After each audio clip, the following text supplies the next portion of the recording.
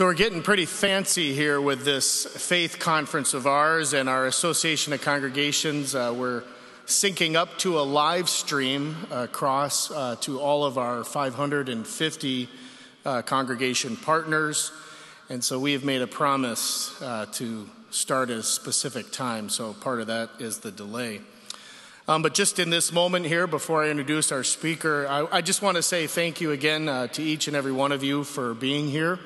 Um, this is something that uh, we have uh, a real privilege to host every year, our Gustavus Faith Conference. And um, I mentioned this at the very beginning of worship, um, but this is something that is a, a partnership between Gustavus and Thrivent Financial. And it's just wonderful to have that opportunity to be able to provide something to this quality for all of you. So, can we give Thrivent another round of applause uh, for this? Thank you so much. I'm just curious, raise your hand if you know what a Thrivent Action Team is, if you've used that. Oh, wonderful. Well, you'll see in your program, and this is a program that is designed uh, as a takeaway resource for you. Um, it's something that, again, our broad network of relationships that we have, we want them to, to continue to be able to move forward in their mission planning and the different things that they're doing. Um, so in your program, we have some, some intentionally uh, detailed uh, information about our mission partners, uh, uh, Lutherans Restoring Creation and Minnesota Interfaith Power and Light. We also wanted to explain what an action team is with Thrivent. Um, some of the stuff that's happened here today has actually been the result of an action team.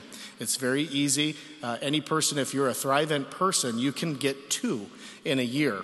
And that's $250 each time you use it uh, to do something to, to uh, any idea that you have to do something good, uh, something generous. You might notice the ribbons that are hanging on the stairway. Uh, this past uh, week, as our students here, uh, our own um, efforts to educate our students and staff about Earth Day, they and, encourage folks to, to sign some things on ribbons to have a, a global prayer ribbon. Uh, well, that all of it was done through a Thrivent Action Team. And I know that part of the, the table for Minnesota Interfaith Power and Light is, in, is using that now. Our format for our speakers will be I'll introduce the first speaker. Um, they will speak, and then we'll have a moment of question and answer. So if there's something as they're speaking you think about that, oh, that would be really interesting to know, uh, you'll have the chance at the end to have a brief Q&A. Then we'll take a, a stretch break. Um, it won't be as long as the break you just had, but we'll have a brief stretch break and then we'll go into the second feature presentation.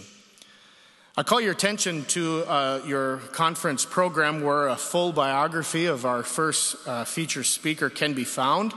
The Reverend Dr. David Rhoads is the Emeritus Professor of New Testament at Lutheran School of Theology at Chicago, and he is the Director of Lutherans Restoring Creation. As I mentioned earlier, we're just so proud to have them as a partner. Uh, it was our pleasure to work with uh, Dr. Rhoads uh, and others on a wonderful DVD educational resource that some of you may be familiar with. It's called Earthbound. It's likely many of you have utilized this cutting edge series that has helped so many of us uh, see how we are created and called to care for creation.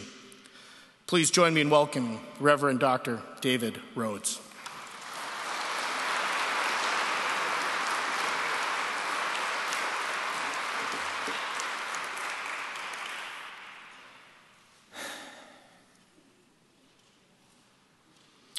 God, I love this life, love this world. Conscious at age 74 of the preciousness of everything. I just can't seem to get enough of it. And I have uh, two daughters and five grandchildren and a great grandchild. And I want this world to stay vibrant and alive for them and not become an enemy.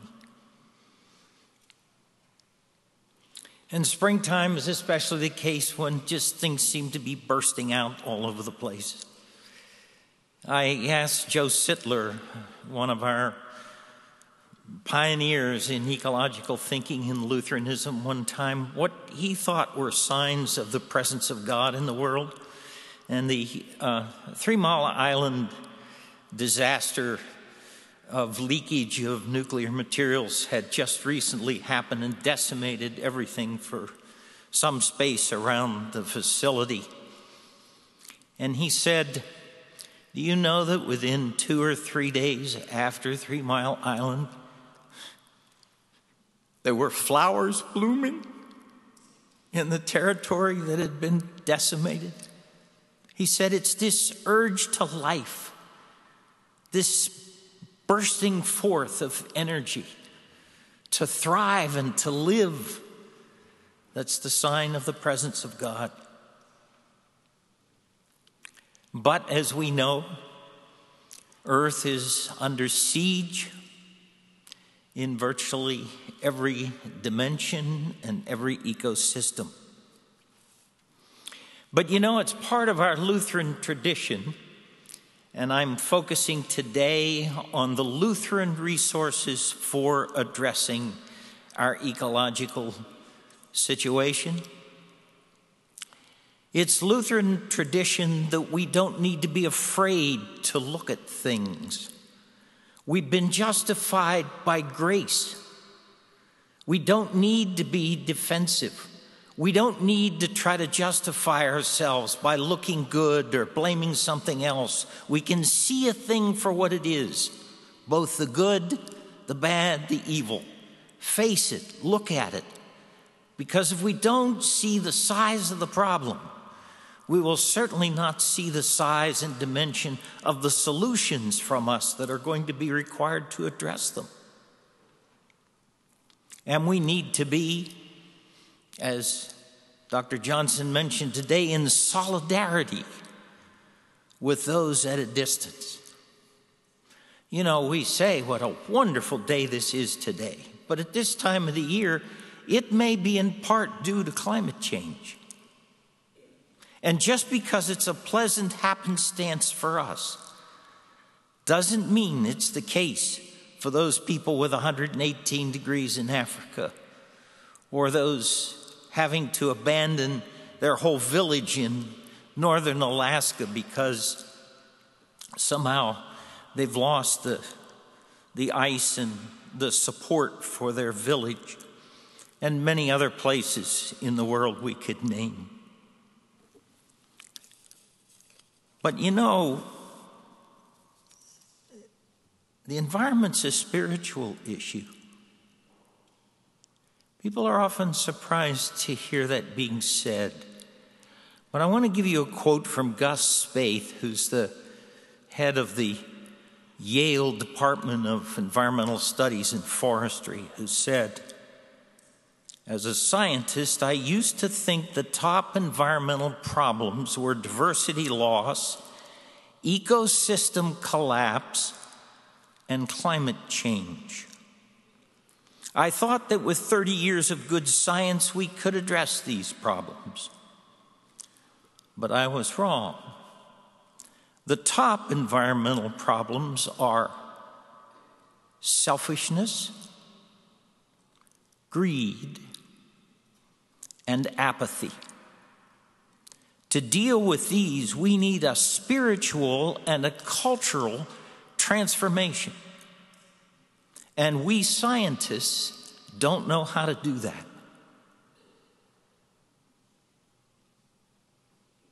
This is about us. This is about our Christian lives, our human lives. This is about our communities here and elsewhere in our congregations. This is requiring of us a deep spiritual transformation, a metanoia, a change of thinking and behavior that goes more than a few fixes here, a few changes of behavior there. It involves a radical reorientation. And we have many Lutheran foundations to draw upon for this. A lot of them are not earthly friendly. Some cases we can affirm them, in other cases reclaim them, in some cases expand them, but under any circumstances, we are being called to a new thing. One of the great strengths of the Lutheran tradition is that we believe in perpetual reformation, that the church always has to be changing, that there is a season for everything, and God is doing a new thing.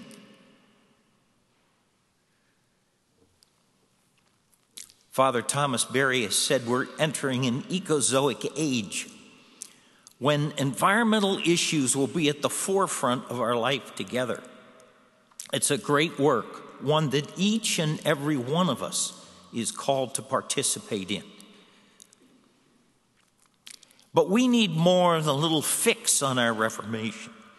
We're coming upon the 500th anniversary of the Lutheran Reformation in 2017, and many of us are calling for a new reformation, a holistic reformation, an ecological reformation, an eco justice reformation in which we reform our theology, our ethics, our church practices, our worship, our life together, our commitment in the world, our sense of vocation in such a way that we address what God is calling us to do in this time.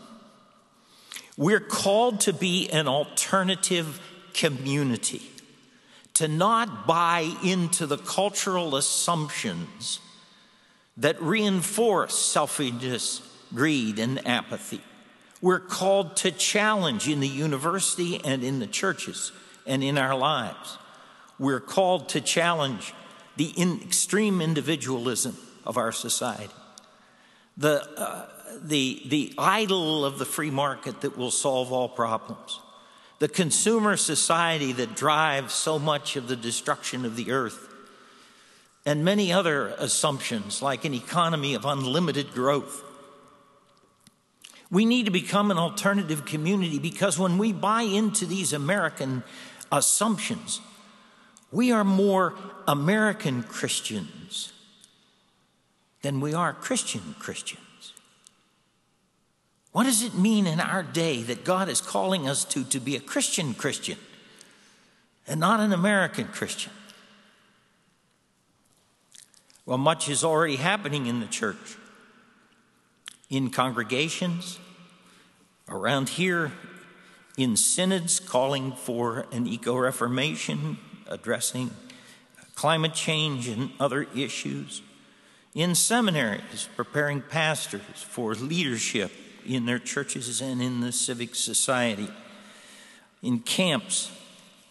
And I have to say, colleges are on the forefront. And I want to take just a minute to share with you what is happening here on this particular campus. This campus has a sustainability professional officer, Jim Dontje whose job it is to coordinate, promote, and encourage sustainability across. But there's a Campus Greens uh, student group. There's a divestment group of students calling for divestment from fossil fuels of the college. There's a kitchen cabinet that advises the green cafeteria. The, the college has taken the president's climate commitment to reduce fossil fuels by half by 2030 and become carbon neutral by 2050. The faculty comes forth with, with courses to be offered and programs. You have a chaplain in Brian Konkol who's been a leader in the church in ecological uh, commitments. You belong to the Association for the Advancement of Sustainability in Higher Education. You have a green cafeteria with recyclables and plates and utensils. You buy local food in purchasing, serve a la carte.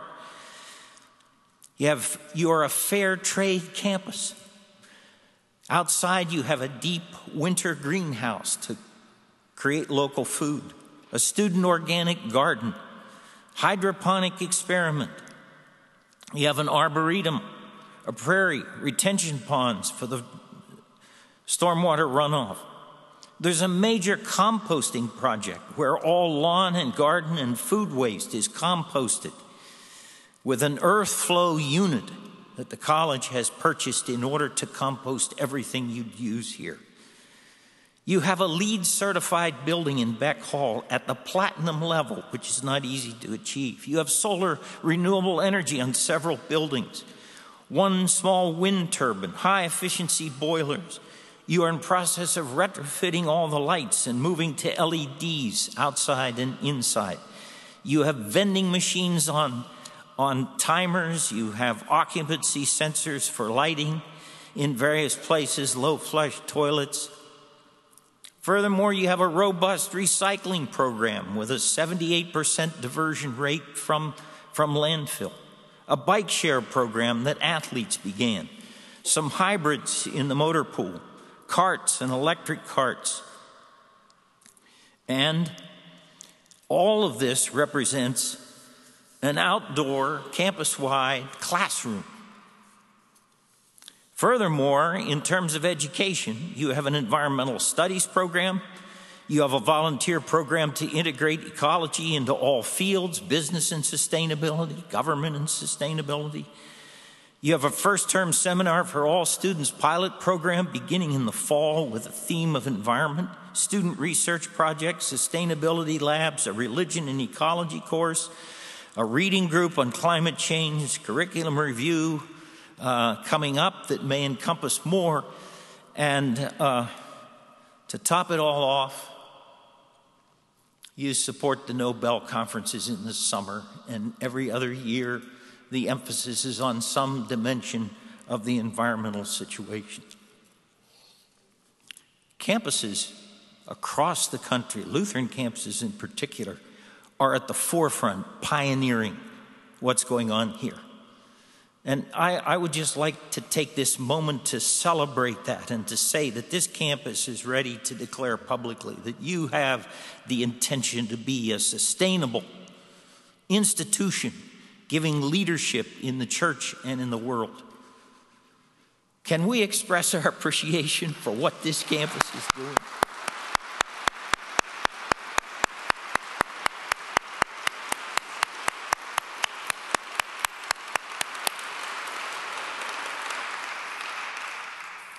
It's really quite astounding. I had no idea, and I'm delighted to learn it all. Thank you, Jim. Um, so then, my question is what's in your wallet? what are you doing in your home and in your congregation? that really takes seriously these issues and does everything you can to bring your own lifestyle and your congregation into the 21st century as we address these problems. Now, I want to look at some of the Lutheran foundations, and my, my critical point here is that how we think shapes how we act if we have religious views that are not really earth friendly, we probably won't make those connections. And they probably won't motivate us to be change agents in what we need to do. First of all, central to the first Reformation is how we read the Bible. We believe in sola scriptura. We read the Bible through the lens of justification. Unfortunately, the focus is almost exclusively on humans. What God's doing for humans, how human beings are called to do one thing or another, and how human beings are saved. And we kind of selectively eliminate all the things in the scripture that deal with creation. And goodness gracious, when you start to read it, it is everywhere, foundational from the creation stories calling this creation good and celebrating it to the covenant with Noah and all the creatures of the earth to the Psalms which call all of life to praise God to the prophets who who call for for uh, justice in the land so that the land will thrive to uh, Jesus calling for a renewal of creation through the kingdom of God uh, clear through to the final book of Revelation, where there's this vision of a renewed heaven and earth where God comes to dwell, and, and there is life in, in the city with a river running through it and food for everyone. We need a second canon within the canon, a second lens through which to read it. And, and Second Corinthians might be a good one. For any who are in Christ, creation is new. We used to translate that for any who is in Christ, he or she is a new creation, but that's not what it says. For any who are in Christ, you see creation in a whole new way. You relate to it in a whole new way. Creation is new. And then it adds, all old things have all passed away. Behold, everything is new. The operative word being behold. Can we see, perceive things in a new way that changes the way we relate to them? In terms of our look at the Trinity, we have tended as Lutherans to focus almost exclusively on the second person of the Trinity, on the second article of the Creed, with the salvation of Jesus Christ. And we've isolated it from the first article and God the Creator. But if you start with God the Creator, then you recognize that Jesus is restoring all creation. As Colossians says, everything in heaven, on earth, under the earth, and in the sea is reconciled through the blood of the cross. Theologian Larry Rasmussen tells a story in Africa where the, the leader of worship would say to the community, What would, did we used to believe? And the answer, Jesus died for my sins the leader. And what do we believe now? That Jesus died for all creation. Well, he not only died for all creation, he lived for all creation, healing the sick, preaching good news to the poor, providing bread in the desert, calming storms with the threats. There was a restoration of all of life in what he does. And so the redemption of Jesus is a restoration of all of creation. And the Holy Spirit is the sustainer and the connector and the fulfiller of all creation. And often with the Trinity, we have lost the sense of Jesus' humanity. Absorbing Jesus somehow into a divine being that isn't fully human. Well, the 21st century version of the full humanity of Jesus is that Jesus was a mammal. Jesus was a higher primate. He was in the gene pool. He's part of the web, he was part of the web of all creation. And therefore, he belongs to all creation and he redeems all creation. Part of the problem with that is that we have so individualized salvation that we don't see that larger picture. You know, um, I think for many of us, me growing up, certainly, till I began studying the New Testament, my understanding was that the one and only message of the Christian gospel was that Jesus died for my personal sins in order that I might be forgiven and go to heaven. That's only one model in the New Testament. It's not the primary Lutheran model. The primary Lutheran model is justification. That's different from forgiveness. It's a different understanding. But we have so individualized it that it becomes about me. It takes the gospel that meant to free me and turns me back in on myself. Not that forgiveness isn't important, not that I will not be with God, we will not be with God when we die, but the biblical materials can't imagine a salvation without community or without the rest of earth. that God created. Now, justification is different in this sense. It addresses both sin and shame by removing the standards, the laws, the cultural standards that seek to define us by our income or our wealth or our status or our acceptance in society in some way, the way we conform and fit in, as well as any religious efforts that we are trying to make to please God. The whole point about justification is it liberates us from having to please God or anybody else and frees us so that we can concentrate on loving our neighbor. And now, loving our neighbor encompasses our kin in creation, our larger earth community that we would love and care for, all of creation. That takes us to our original calling in creation. That on the day when God created human beings last, God created them to take care of the rest of creation that God had created. That's the whole point. And when you see the second creation story, you realize that we're called to serve creation, not from the point of view of dominating it, but serving it. Just, just think about that for a minute. Our job as human beings is to see that all of God's creation thrives.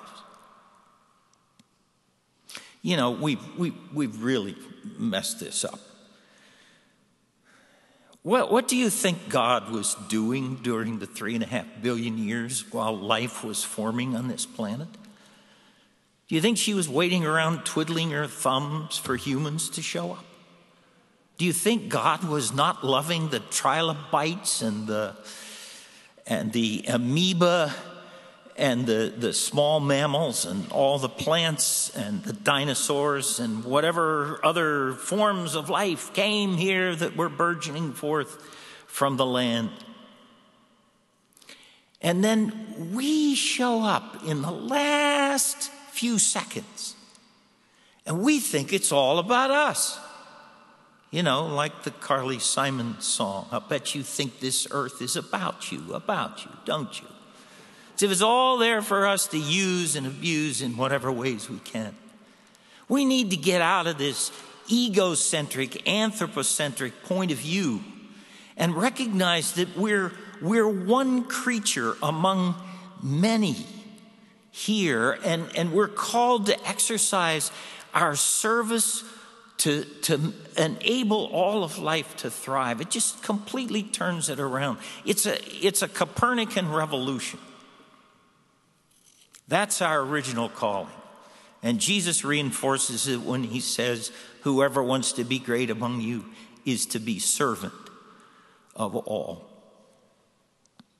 And that means there's a real focus on this life. You know, there's a popular view, and you hear particularly around funerals where God has called someone home. My mother's funeral, the pastor said, she's at home now. And I, I, I think to myself, I know she's with God, but this is home. And the biblical materials understand it that way. Do you, do you know that uh, the, the entire Old Testament was, was written without a belief in life after death, except for a few passages, late ones. Wow. God was investing in this life. And as I said, most of the New Testament is not about going to heaven, it's about healing the sick and recovering of sight to the blind and freeing the oppressed, liberating people, restoring them to a relationship with God, restoring them to uh, community. And Paul is mostly about creating communities that are reflective of the love with which God loves us. That's what incarnation is about. It's about God coming to earth, God coming to be manifest as Jesus and in, with, and under all things. This is God's home. The rapture theology has it wrong. In Thessalonians, those people are not being picked up to go off. Everybody else is left to deal with the disasters. Quite the opposite. Those people are going out to greet Jesus and welcome him home. That's what the word means that describes the activity that they're engaged in. I sometimes used to say to my students, you know, if you only think about yourself dying and going to heaven, be careful. You may pass Jesus coming the other way. Because the whole New Testament understands Jesus coming. It's about the future of here. And the last, as you will see in the, the Revelation lesson for this coming Sunday, the whole vision of a new heaven and new earth it is that God comes home to dwell with people. We don't go there, God comes here. That's the whole movement of God. You see this wonderful chapel. It's, it lifts people up by all these streams going up to think uh, about the, the glory and wonder of God. Trust me, I don't want to counter that, but I also want you to imagine all these things as streams of God coming down here in this place, in this world, in this land dwelling here. God is earthbound. So the image of God, and this is so rooted in Lutheranism, is not out there, especially when you have a round earth. Where is out anymore? Up. Rather, God is in, with, and under all things. That's our sacramental theology. And Martin Luther has an astounding quote. What a strong creation theology Martin Luther had, where he said, The entire fullness of the reality of God dwells in every single grain of wheat and every leaf. Can you see it? The earth is filled with the glory of God. Can we perceive it? We get a glimpse of it in the sacraments. You know, for us, the, the bread and wine don't change. It's just that the words affirm that God, Christ, is there already. Now, if God can be in such ordinary elements as grapes and grain, God is in everything. That's what the, that's what the sacraments are about.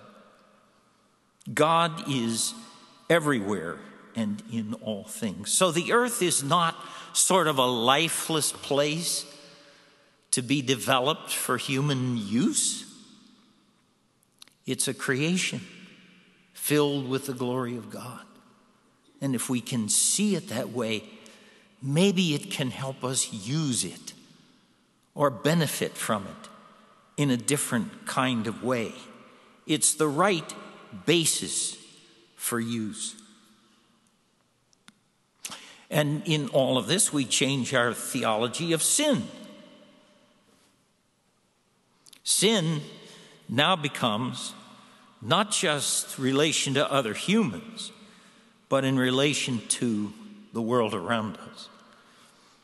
I, I wonder how many of you in your private prayers or when you come to church in those silent moments might say to yourself, God, forgive me for having a cup of coffee this morning that came from workers who were paid poor wages and who were exposed to pesticides, their families to awful environmental toxic conditions. God, I, I, I, I ask you to forgive me that I bought that cheap dress today, yesterday, because it was inexpensive, but I don't know who made it or where it came from or how those people are suffering. And do we recognize our corporate complicity as a humanity? Luther defined sin as being turned in upon ourselves. And that whole of humanity is turned in upon ourselves. As we corporately, as businesses, governments, whatever our society does, think, look at all the resources we have around us that God has given us to make use of. That's idolatrous. Turned in upon ourselves. Luther was interesting. He said, when you're justified by grace and you don't have to justify yourself by other means, you can see the glory of God in everything because you're freed from looking at it as something you can use in your project. So you can see a thing for what it is. And that means our ethics are expanded to encompass not just our human relationships, but to encompass our care for all of creation, to see the interconnections. You know, we are, we are so fortunate as Lutherans. I am, I am so deeply satisfied to be part of a tradition that cares about the most vulnerable. It comes from our theology of the cross. We look at Jesus and we see that he is strengthening the society by securing the well being of the most vulnerable. And we as Lutherans have a long tradition of hospitals for the ill, homes for the elderly, orphans. We have a long tradition of Lutheran social services for adoption. We have a malarial program, Lutheran disaster. We have immigration services. This is a whole spectrum of things that represent our collective commitment to the most vulnerable. Now we are called to expand this to see the interconnections and redefine each one of these justice issues in terms of the way in which the environment is affecting immigration, which the environment has interfaced with disaster relief, the way in which the environment has interfaced with the vulnerable elderly and people of color. We are called now to see those interconnections, but also now to reach out to the vulnerable in society, the endangered species, the ecosystems that are under threat whatever else may be under siege in our world. That's the legacy we want to expand and have. And worship, we had wonderful worship this morning. You know as well as I do that for most of the time, our worship focuses exclusively on human to God relationships and human to human relationships. But if we are called to worship God with all of creation and to expand the choir of creation, as it was so beautifully depicted today, if we are to all worship together, can we not encompass into our worship a recognition at the beginning of worship that our real sanctuary is the earth? That's the holy place in which we are worshiping that we confess our sins in the confession against creation, that we pray for endangered species and, and other um, dimensions of creation that are being degraded, that we are commissioned at the end at our church, we say, um, Go in peace, serve the Lord, remember the poor, tend the earth. It's part of our commission and how we're called to live. And worship is the central event of the Christian community. If we can have it reinforced week after week after week in our mentality, that our care for creation, our connection with creation, our celebration with creation is an integral part of who we are as human beings and as Christians. It will go a long way toward the transformation that's required of us. Which brings us to spiritual practices creation discipleship, if you will, what we are called to do. I asked the class at LSTC a number of years ago to take a week and imagine all the different ways they could conserve water. Well, some of them did it, some of them couldn't get into it. But the major complaint was that they couldn't think of it as a spiritual act. Their notion of spiritual acts was praying or reading the Bible or meeting in a small group and talking about faith, rather than the concrete, earthy action of doing something that will make a difference. I was made aware a number of years ago, and it's just changed my whole way of thinking about this, that my house is connected to every ecological problem there is. The energy that comes in from the coal powered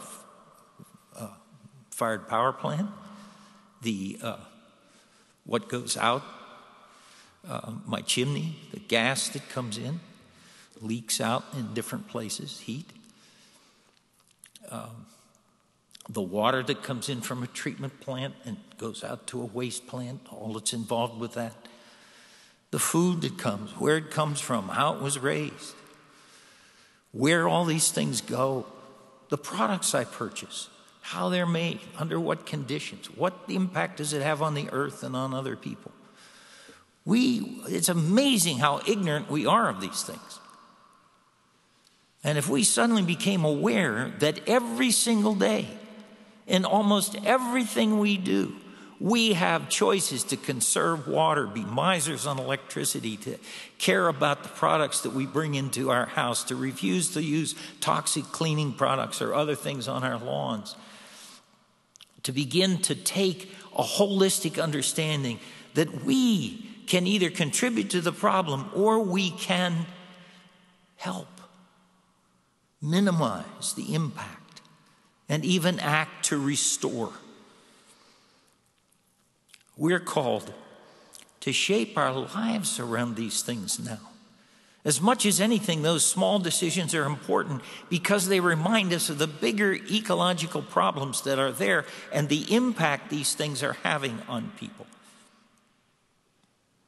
So, what will motivate for? For this? Guilt. Maybe it'll get us started, but it's not going to last very long. Outrage at what's not being done. That's not going to be very persuasive. Shame, grief at the loss of things, despair. No.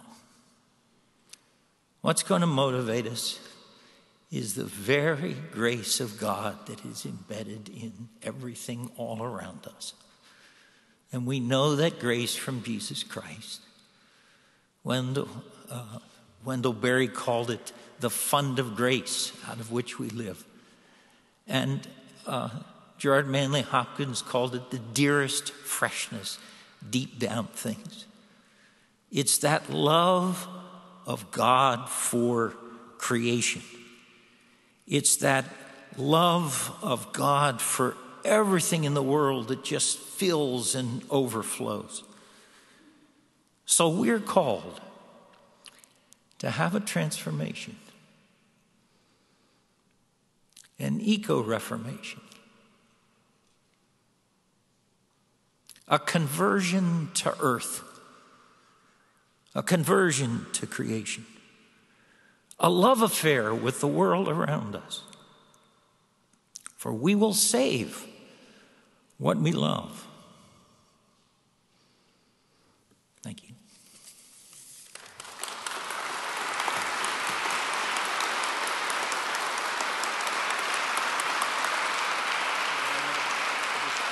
If there's time, if there's not, I'm happy. Thank you very much.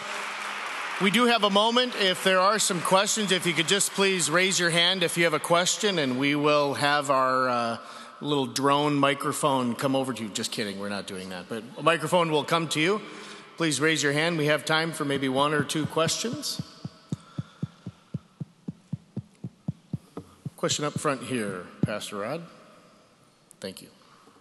While we're waiting, I, I, I know I go longer than I should. My wife reminds me of that all the time. But I want you to be assured that I cut out the first two thirds of my talk before I came here. Would you speak um, just in a, a, a, short paragraph to the uh, populations that lie in coastal areas affected to climate change, for instance? For? I'm, I'm sorry, I'm having trouble understanding. Could you speak uh, briefly to the plight of uh, many uh, emerging world countries who are suffering the effects of climate change? Yes, I can. The question is can I speak briefly to the impact? Briefly, that's a, yeah, thank you. Good reminder about the impact of climate change on third world countries. Um, Katrina was a mini example of that. The most vulnerable people were hit the worst. And they were people that had the least resources to cope. Many of them are still living in FEMA trailers, mostly people of color, elderly people, sick people who didn't have a way to get out. I mentioned the people in Shishmaref in northern Alaska who are having to relocate their entire village. Same is happening in the Pacific Ocean with low lying islands where whole cultures are having to leave. We're, we're going to have, if we're worried about refugees, we're going to have a huge uh, responsibility with environmental refugees. In Africa, the drought from this, you, you can imagine that if you have 118 degrees, you're not going to grow many things. The drought has been awful. And thousands of people have died not only from the heat, but also from drought. Uh, in Nicaragua, as an example, there are a group of Lutherans that went down there. Um, the farmers can't farm anymore because they cannot count on when the rains will come, as they have for years upon years upon years. Now, we have a lot to learn from people in the third world because they have a much less impact than we have in our lifestyles. And there are many villages in Africa that are totally solar. And there are huge projects to plant trees to compensate for all the trees the first world countries are cutting down in order to create farmland or whatever they need to do. this is where we, we just can't hunker down and say, well, I'm okay, my family's okay, this community's okay. We have to be in solidarity with them. There's a line in Hebrews I love that says, Pray for those in prison as if you were in prison yourself. Pray for those who are sick as though you were sick yourself. Pray for those in the third world as if you were in the third world yourself. And if you know somebody you can connect with, or your congregation can connect with a community, so that you can learn from them what's happening and what we need to do to be in solidarity with them, that's in, in, incredibly important.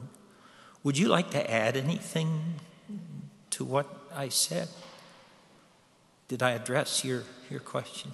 Okay.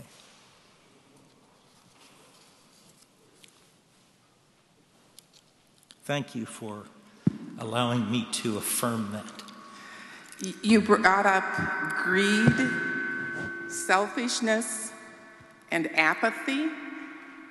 And my question is how do you address people who refuse to even see this as a problem? I don't. you know, I, I, must say it's a wonderful thing to be here in this room with people who are committed to this and wanting to do something. It's a wonderful thing to be part of this communion of saints and the communion with the larger earth.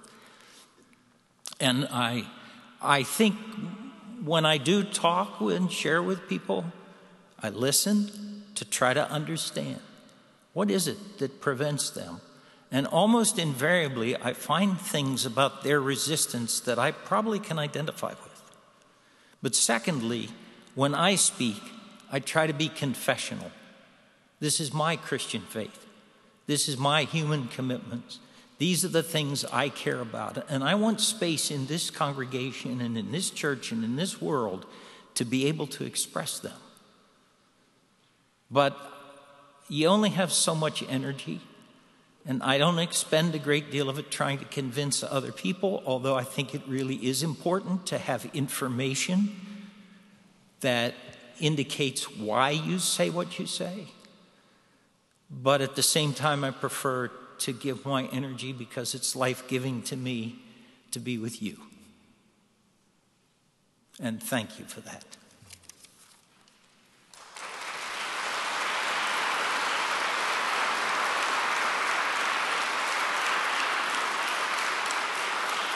Thank you very, very much. I invite you now to uh, please stand and stretch and maybe reach out to somebody and just share something that you are really thankful for uh, in your creation life and in life, your environment around you, something that you just treasure. So please stand for a minute. We're going to take a five minute break.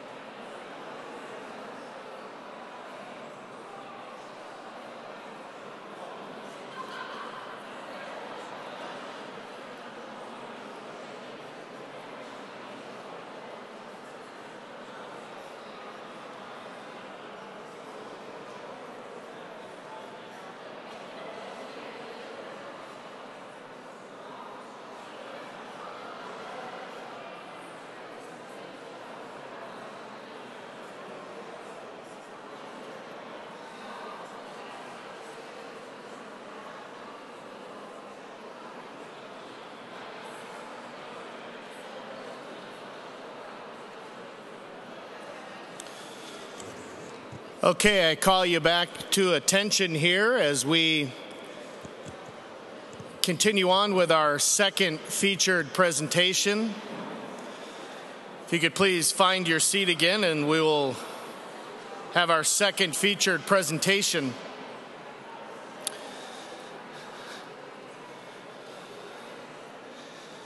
Every single day during the school year, uh, we have a daily Sabbath in this space. And it's very intentional by design. If you notice, the floor beneath you is a brown color, and the, the ceiling above you is a blue color. And the windows all around you are open, that we know we're earthbound.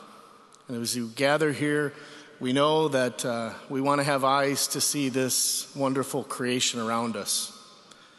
I'll tell you, when we talk with our students about the gift of this daily Sabbath, this time to come and sit every day at 10 a.m., you bet they know it's a gift. But many start to realize that it's in some ways an act of protest to stop from our busy, busy, busy, busy, busy. To stop from that being uh, measured, literally given a grade for every little thing you're doing. To come and sit in God's grace. To be opened up to a broader wisdom and vision for life. In our conference program, there's a full biography of our second speaker. Uh, you've heard a little bit about the amazing work that he is helping shepherd here at Gustavus. Dr. James Dontje is the director of the Gustavus Johnson Center for Environmental Innovation, and he is the chair of the Environmental Studies program. We are truly fortunate to have this gifted leader and teacher as a part of our Gustavus community. And I have personally appreciated Jim in so many ways and consider myself blessed to work with him. What a wonderful conversation partner. And I'll tell you, this man is so deeply rooted in his Lutheran faith and a, a theologian, if I will. He's a gift uh, and a wonderful conversation partner in topics of faith, justice, and service. Jim was also a part of that earthbound video that I mentioned. A, and he's been a presenter and is available to be a presenter in many of your congregations around important environmental issues. He's also a part of organizing in southern Minnesota uh, with the Minnesota Interfaith Power and Light, organizing people around the real issues impacting our lives and community. Please join me in welcoming Dr. Jim Dontje.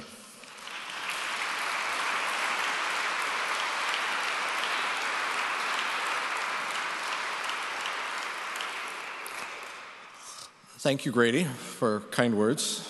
Thank you, David, for really great words. Um, I, I, won't be quite up to that, but I'm honored to follow those and, and, that beautiful framing of what's going on. And I hope to help, help us as we think about this. Um, I am, I have to admit, with some trepidation, doing a bit of theology here, but it's kind of a funny piece because I've got this title The Radical Freedom of Creation Care. What kind of a title is that? From all that we see and hear, and most of the time how we act, environmental responsibility is the classic example of moral restraint for the common good. Either we do the right thing, buy less stuff, recycle our trash, drive our car less, fly less, or the planet is toast. No freedom there, just limits, right? But there it is, the radical freedom of creation care. I wrote it, it's printed. I'm going to have to work with it.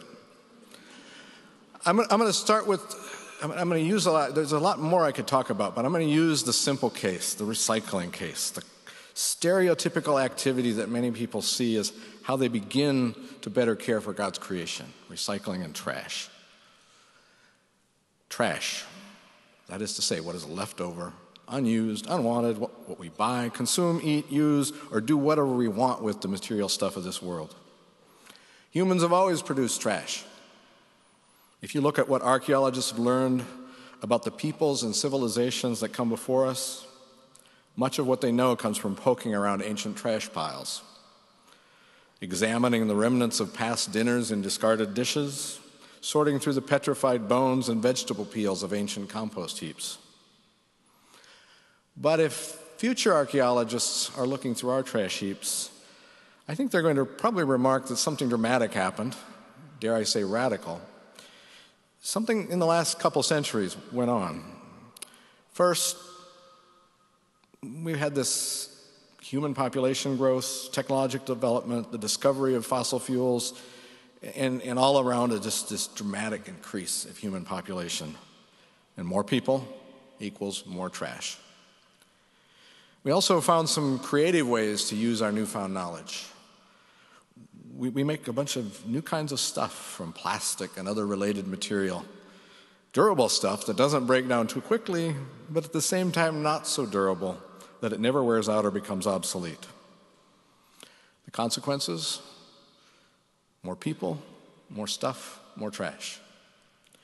While we first recognized the negative aesthetic issues of seeing more trash in the landscape, we've also grown to recognize that that trash has an effect on us and all other living creatures. I've got a graphic illustration here. It's one that shocked me.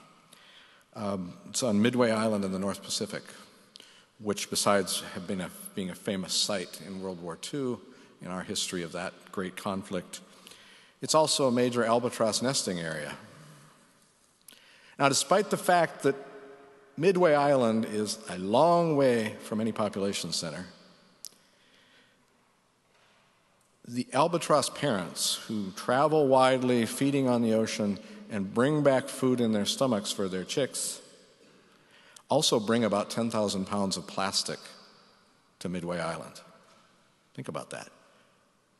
Five tons shipped in by the birds of trash picked up all over the ocean. And that plastic ends up in the stomachs of their young. Now, anyone can tell you, especially anyone who really enjoys that convenience factor, that there are ways to deal with this. We can put it in the right place in the trash can, we can recycle it, and of course, we can use less. You know the mantra reuse, reduce, recycle. But if you've made a commitment to the three R's in your life, and I know many of you have, there are challenges. We have to, not rem- we have to remember not to slip into buying the latest, newest, shiny thing on the shelf just because it looks good. And then we got to remember to put whatever trash we have into the right container. And we're never quite sure about how that recycling is supposed to work. Is it a three or a five, and can it be recycled? This effort of re- reducing, reusing, and recycling takes concentration and persistence. Where's the freedom in that? Well, I'm going to work on an answer. It's going to take a while to get there, but I'm going to work on it. We're going to take a closer look at recycling, and I'm going to use a case study here that I'm really familiar with. Since the summer of 2013, this campus has been composting, recycling all of its food waste, all that we can collect.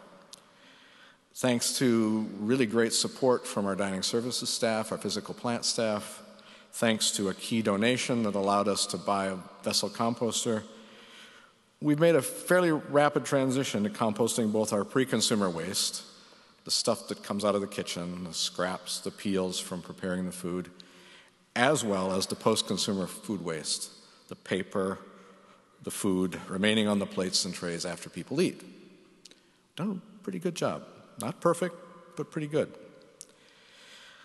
I've been working with that effort over the past several years, and I've, as a part of that, I've learned how it works elsewhere. And I've been struck how it's not about what goes on out in that composting vessel. That's the easy part. We can do that practically in our sleep. Not quite, but, but close. The really hard part is what the industry calls source separating. You have to get the food waste separate from the stuff that doesn't compost. It's the classic recycling problem how to get the stuff in the right bin. And food waste is, is harder too. But because our dining service operation is committed, because we designed our facility well when it was built many years ago, I'm not sure people were thinking about this then, but they, they did it right. And because of our model of our dining service, the a la carte model, kind of helps reduce food waste, we've been doing pretty well. Again, I, I think I can think of ways we can do it better, but it's, it's pretty good. As a result, we have a good composting process. Well, working with this means I spent a lot of time thinking about it. And of course, it spills over into my home life and what goes on in my own kitchen. And that's where I begin to get a glimpse of how there might be freedom in creation care, just the beginning. If, if my household, when it's doing well and we do the source separation thing well and we keep the food waste out of the trash, you know what happens? The garbage never smells because it doesn't have anything to rot in there. And that means, eh, you know, I don't have to take the garbage out this week. It's not full. I can wait. Now, I'm sure you're saying, but what about all that food waste? Surely that can start to smell and has to be taken out every week. This is true. But the total volume is smaller, and I have more options. It's just food waste. I can compost it in my backyard and use it for my garden. I can take part in a community composting effort where it's recycled into fertilizer for some effort, a community garden. There are even communities where they've implemented this on a municipal scale and they stop picking up the regular trash and recyclables every week. They maybe do it every two weeks and have a small collection of food waste once a week. Changes the cost equation of garbage. So, got a little hint of freedom in there. Well, this is a holistic view, and it does open up our eyes to some possibilities that things might be easier, more free, but it's still a kind of discipline, isn't it? The discipline that constrains us to act in a certain way. Okay, is this food waste? Can this be composted or not? I got to think, and I got to have two containers. I got to plan. We need to go a little deeper to think about the freedom I'm talking about. We're just going to keep going down and digging into this. About 15 years ago, I was asked to teach a course titled Ecological Design. I still find that name, ecological design, a bit presumptuous given what little we know about ecology. But the name and the experience of teaching that class brings insight to the topics of limits and freedom. Since I was supposed to teach about ecological design, of course, I had to think about the design process. In doing so, I realized that the thorniest, most difficult design decisions are those in which there are no inherent constraints or standards to guide the decision making. If all things are possible, then nothing is because we don't know where to begin. This realization got me to thinking about the true nature of choice and freedom, and I'm led to make this claim. See, if, see what you think about this.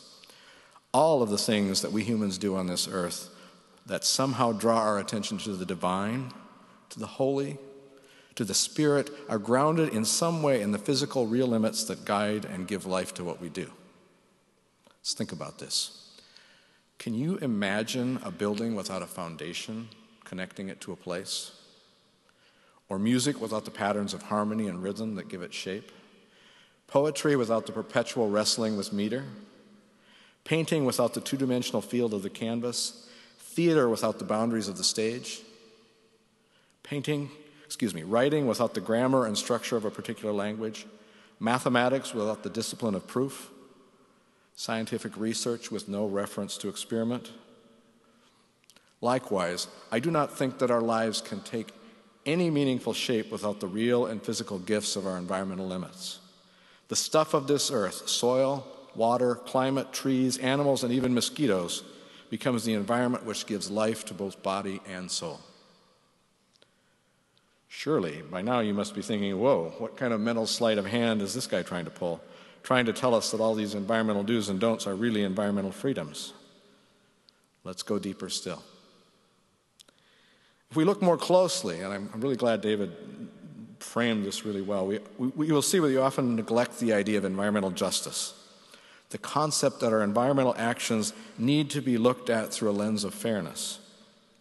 This way of looking at environmental questions highlights some interesting but often unspoken questions. Take the basic case of waste and recycling. The unspoken question in our mind in that discussion is that question that's on everybody's mind is who handles the waste? Or to put it in terms of the food waste example I have already explored, explored who does the source separation? And then the other question who has to live around the waste or deal with the consequences of that waste? Again, in the context of the composting example, who has to live next to the landfill or the composting site? Thinking about the many environmental questions and challenges we face, I've realized that these questions are shaping our ideas about and our ability to care for God's creation. When we say that it is too hard to separate our waste, are we saying it is really too hard? Are we saying that we want someone else to do the work? Someone who makes less money than we do? And who has fewer economic options? And if we don't recycle it, where will the waste go? You know the phrase not in my backyard. Okay, let's move up to the really big scale the proverbial elephant in the room climate change.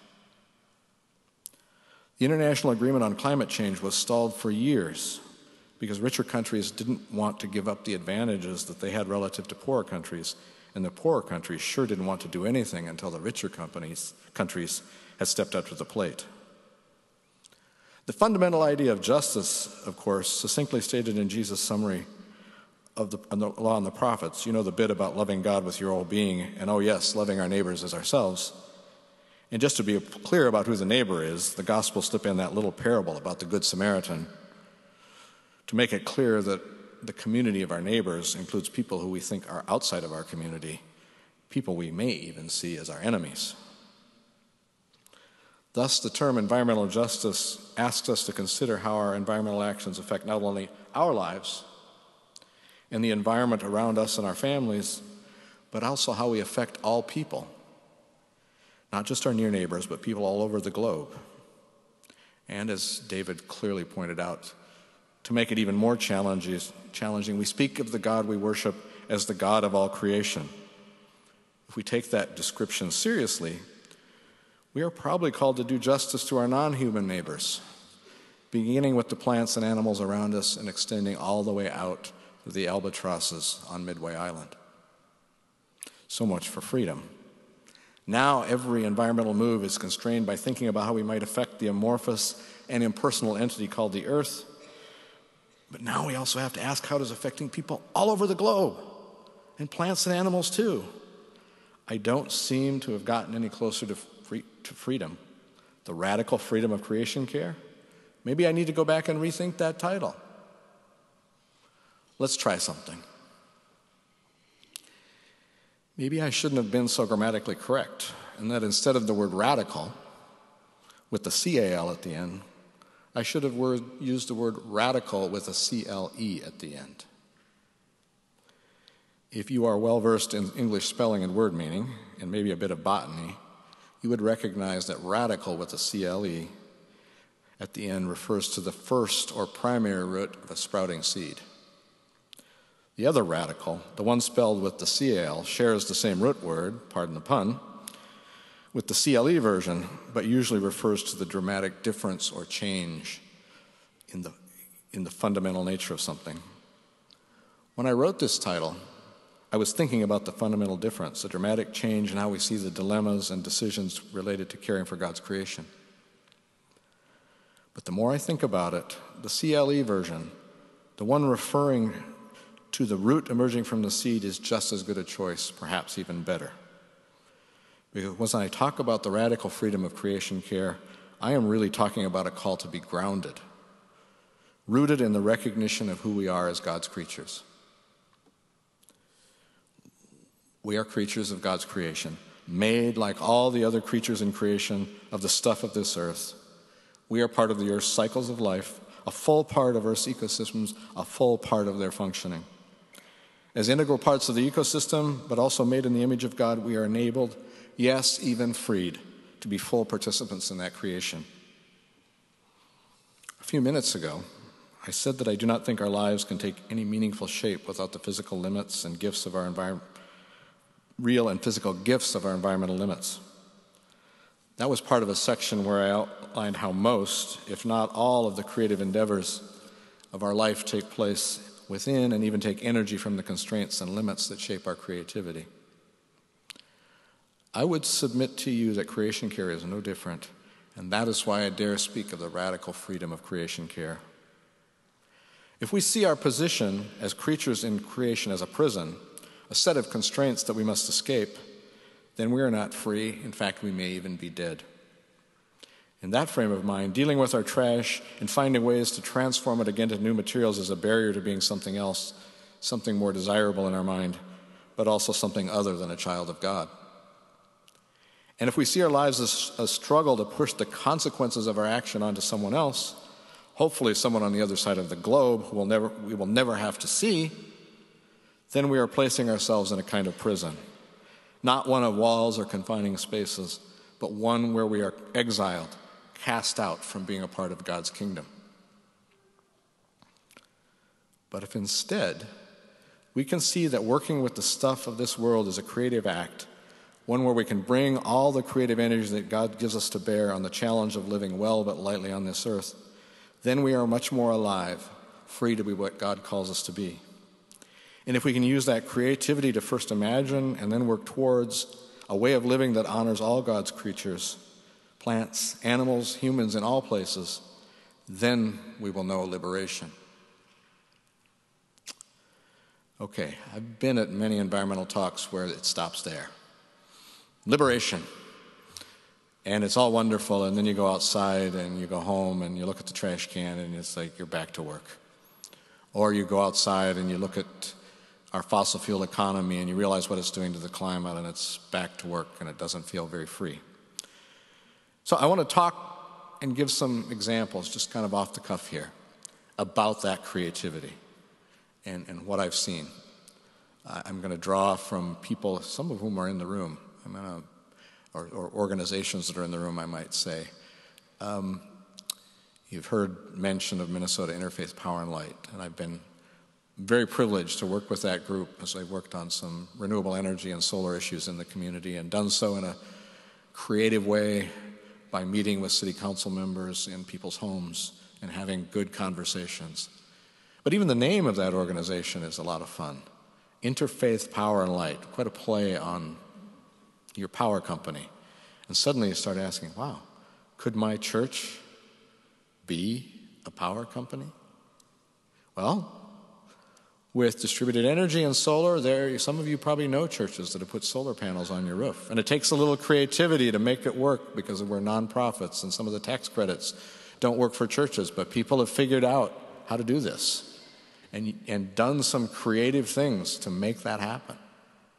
Quite amazing. A lot of human creativity, a lot of that expression of what we can be to work these things through. Or a church that decides to do food composting, you know? When, when we did our waste audit here, looking at our food waste, when we got done and I figured out, yeah, we maybe have maybe 400 pounds of food waste a day, and I was trying to put some error bars on that to say, how much uh, did we get it all? And one of the things I realized we missed was coffee grounds. You know, your church doesn't produce any of those, does it? Yeah, no. Um, and there's some really creative things. It, it's great for compost, great for your garden, but you can also grow some mushrooms on that. Some really tasty, the kinds they sell in the store for a high price. There are lots of creative possibilities there part of, of that creativity, part of what we need to do that is to start re envisioning our world. Coffee grounds are not waste. Coffee grounds are a raw material, something we can transform. All of our waste is really a raw material that can, we can do something with. Even that carbon dioxide that's coming out of our cars and, and wrecking our climate is a waste that maybe if we did something different, we could, we could do something better with it. There's, there's possibilities. Part of that reimagining is really reimagining the stuff of this earth. And, and David hinted at this, and I'm going to add another hint to it. I haven't had to use my glass of water. And I've, I've done a lot of work with water. I, I, I've been in Africa in those places where it gets to be 118 degrees and dealt with water issues there. So I've thought a lot about how to keep water clean and we think about it here in St. Peter because our water supply had been um, impacted by nitrate and, from agricultural operations, and so we have to have a reverse, reverse osmosis. But a few years ago, one of the creative acts in my congregation, First Lutheran here in St. Peter, was to read a book, uh, Rethinking Worship, with ecological images. And one of the things I took out of that book was any water anywhere probably has a few molecules in it that were in your baptismal font. It may have even a few molecules in it that were in the River Jordan when Jesus was baptized, because this water, some of it gets consumed and chemically changed, but some of it just keeps cycling around in the water cycle. So, what happens if we think about the waters, starting with the rain that falls on our streets, starting with the rain that runs off our fields into the rivers? What if we realize that that is connected to the water of baptism? What does that mean? I think it's a way that we can start reimagining all these materials in our life as something, dare I say, sacred, dare I say, holy. The justice thing starts to call in some creativity too when you start looking at and working with people, working in that solidarity that David talks about. One of my privileges of, of this past year was to spend three and a half months in India with a group of our students and also a group of Concordia College Moorhead students as part of our semester in India program. And in that, we, we, we met some people who are really facing these climate dilemmas. We were in the southern state of Kerala, and we were talking to farmers from the Adivasi groups, the native peoples of India, and they were, some of them were saying, you know, it is really tough. We don't know what's going on with the climate anymore. It used to be we could only grow coconuts in the valleys, and now it's all the way up the mountains because it's different. And we don't know when to plant and which seeds work best. It's confusing. But we also met people that used that as an opportunity to reclaim something and, and to do something really creative. Uh, a group we visited were uh, lower caste women in an area where traditionally they had worked for their landlords and their upper class neighbors as household servants doing work in their fields. And they didn't cultivate their own fields because, of course, as people on the bottom end of the totem pole, they got the worst land in town, the dry, rocky soil, and they thought they couldn't grow anything. But with the work of another an organization called the Deccan Development Society, this group of women had started to ask some questions. And they asked some questions of what they were growing, and they realized that as outsiders and other people had come in and they'd moved to the bottom of the social they'd started focusing on these cash crops of cotton and wheat. And they'd neglected some traditional crops, particularly millets, which always grew in that area. And there, there it's a drought prone area. It, they can go several years without regular rains, and it's getting worse with climate change. Well, they started planting those millet crops again. And you know, millet doesn't need a lot of water. And it's really adapted to that climate. And what they discovered is if they used their traditional millet crops, they could do pretty well on those dry, rocky fields. And oh, yeah, they, we used to use these plants as vegetables, these green things that people call weeds. But we used to know how to use those as vegetables, and somebody did a little study, and wow, 10 times the nutritional value in these plants. And so now these women, and they, they valued their seeds, and they started keeping track of what varieties they were growing and, and two things that really struck me. One is they said, now sometimes our richer neighbors that we used to work for are coming to us for help because this climate thing is really tricky and it's, it's people having a hard time making a living. And I, I said to them, I, I, was familiar with people who lived in these drought prone areas, and I know it can be tough. And I said, Well, you know, you've had a drought last year. You're kind of in the second year of a drought. How's it going? And they just matter of factly said, You know, we think we got two more years we can hold out, which is an incredible sign of re- resiliency and capacity to adjust. And so that's another example of creativity as we can start looking at in that solidarity with other peoples in the world and how can we work together to make this go for us? How can we do better? How can we be more free in serving God and loving our neighbor? Thank you.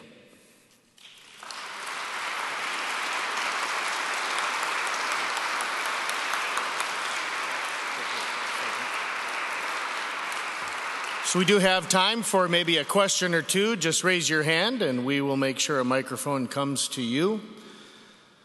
It's not a share or die situation, but of course, if you do have a comment or question you want to make, we have something in the front row here and another one in the back over there, Cam. Thanks. Thank you. My brother has been working with garbage and the PCA for 30 years. I have a curiosity, as I know it is more efficient to send one truck through a neighborhood once a week than to send seven or eight trucks. How can I talk to my neighbors about consolidating garbage and recycling pickup rather than everyone contracting individually? So your real question is how can you talk to your neighbors? It's a key. That's a key question. How, how, do you how do you find a way to converse. I, I think it, it, relates to this freedom thing because, and I'm still learning how to do this myself, just to be honest. But part of the problem is, is we're a little worried about being asked to do something that's difficult, and we're a little worried that it'll be a judgmental thing. Oh, I'm not keeping up with my neighbors and doing the right thing. And sometimes it's just the conversation because people don't realize that you're thinking about this and they're actually really bothered about it too. And you've got to start the conversation. And it has to be, has to be genuine. You, got, you can't just say, okay, I want to talk to you about your garbage. We know that. You got to, you got to talk to them about other things. Um, but sometimes that, that's a way to, to, to break the ice. Again, I, this is not a, oh, snap my fingers and fix the problem. Um, but it, it, takes the conversation. Now, I, I will point to another creative way of thinking about this. And I've seen some groups doing this in some urban areas, and I think you could do it here. Let's say we're going to compost our food waste. All right, we could haul it all to a central site, compost it, and then what do we want to do with the compost? We want to bring it back to our gardens, right? Or someplace. Well, I've seen some groups saying, well, you know, this whole hauling thing is the problem why don't we create a small neighborhood composting site where we all can compost our waste? Maybe it's close enough we can walk to it. Maybe, uh, and some groups have done this, to do bicycle collection. Compost the waste near where we want to use the compost. And then we don't, we skip the truck altogether. So again, I'm not saying that's the solution in your situation, but that is the kind of creative thinking to look at the problem in a different way. So hope that that's helpful. Hello? Yes. I heard yesterday on the radio that India and then I believe it's Indonesia and then the United States require the most water for agricultural purposes and all other purposes. Can you confirm that or something of the sort? Well, while I was working on my talk last night, pardon, my spouse said, While I was driving between my two schools today, I heard this really good talk on the radio. You should listen to it. But since I was working on the talk, I haven't done it yet. But I'm going to. I know. I actually know the author is John Foley, who used to be at the Institute on the Environment here in, in Minnesota. I think it's probably true. I do know in the U.S. that the most water using enterprise is agriculture. And I'm no surprise that in India it's the case because they have a lot of irrigated agriculture. And I have lived in Indonesia, and I would say it's probably true there too because they do a lot based on, on rice culture. Um, several things to think about is if you use that water right in irrigation, it's not a waste necessarily. It can be reused for something else. There, um, but there's still the issue of, of, a lot of it evaporates, and you have to supply a lot of water. Um, as is typical of these things, I would say the number one solution is, as I gave an example in the, in the case of, of India, perhaps the irrigated crops are not the right choice. Many states in India are now sort of declaring themselves millet states because they've recognized that millet uses less water and it's a better way. Um, the other thing to recognize, and I think this is probably the case in the US con- context, um, water use is a reflection of actually how we care for our soil. And we have tended to use practices that reduce organic matter. Um, tillage, regular tillage, um, not adding organic amendments, but chemical fertilizers, and it reduces organic matter. And, and a funny thing happened uh, in 2012. We had a very severe drought here in the Midwest, and many places had um, significant loss of yield in their corn and soybean crops. But when people looked at the results of that drought and analyzed yields, it wasn't uniformly bad everywhere. You could have fields next door to each other that were better than others. And the difference was the organic matter in the soil. If the soil had been cared for and had the capacity to hold more water, you could you did better in the drought, no question. So it's about taking care of that soil. So that's one one avenue is just working on what they call the health of the soil and taking care of it, and then thinking carefully about the design, how we do our agriculture. There are ways to use less water. We've always had techniques, and we, we can reapply those again, recover some of that knowledge. Thank you. That was a good question, and now I'm doubly motivated to watch that talk or listen to it, excuse me.